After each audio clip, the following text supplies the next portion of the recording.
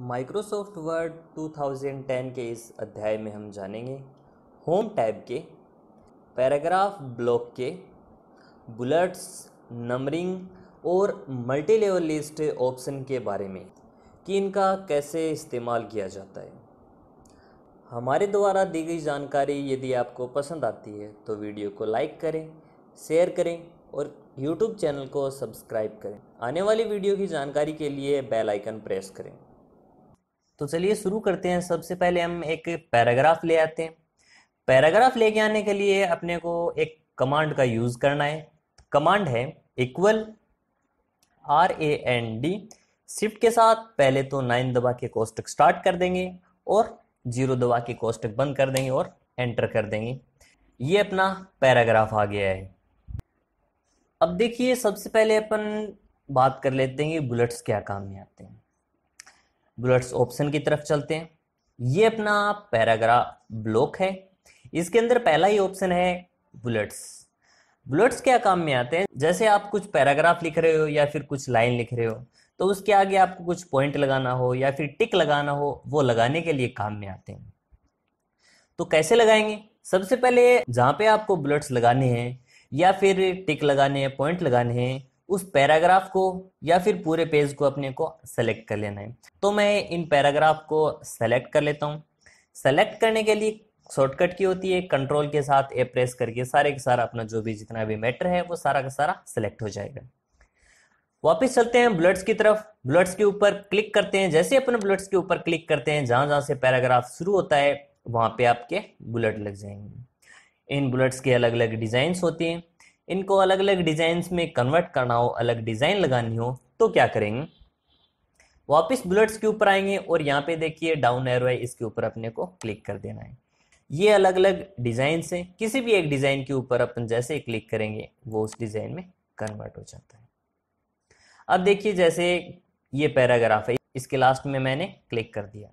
अपने को एक नई लाइन चाहिए, कुछ टाइप करने के लिए इसके बीच में। जैसे ही अपन एंटर करेंगे, उस लाइन के शुरू में अपना पे बुलेट्स लग जाएँगे।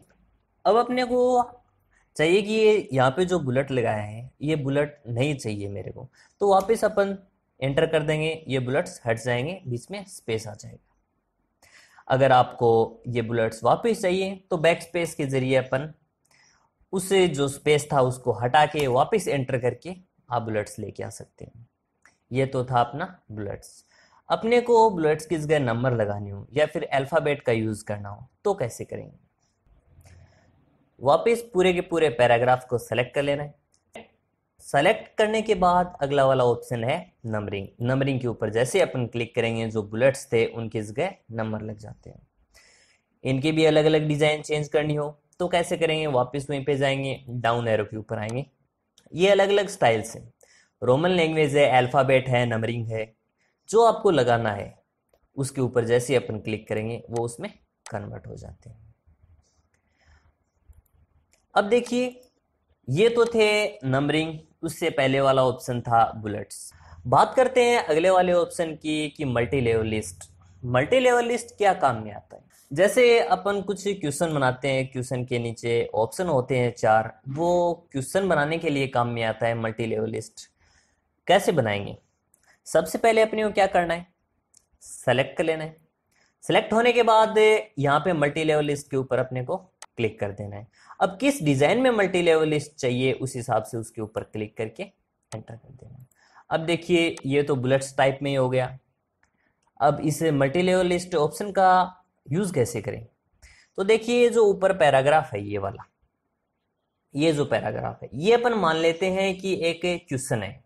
इसके नीचे अपने को चार ऑप्शन देने वो कैसे देंगे? तो अपने को सिंपल क्या करना है? एंटर कर देना है। अब लेकिन यहाँ पे आगे नंबर लग गया है दो। अब अपने को क्या करना है? टैप प्रेस कर देना है। ये एक नंबर ऑप्शन हो गया। यहाँ पे कुछ लिख देते हैं। एंटर कर देते वापिस एंटर कर देते हैं। यहाँ पे देखिए तीन ऑप्शन हो गए। यहाँ पे पहले वाले ऑप्शन में देखिए लिखा हुआ है कि 1.1, 1.2 एंड 1.3 ये 1.1 कैसे है? क्योंकि ये एक नंबर क्वेश्चन का एक नंबर ऑप्शन है। इसी प्रकार अपन दूसरे की तरफ़ चलते हैं तो दूसरे के ऊपर क्लिक कर देते हैं एंटर करते हैं और फिर से टैप प्रेस करते हैं तो 2.1 आ गया। मैं यहाँ पे भी ऑप्शन डाल देता हूँ।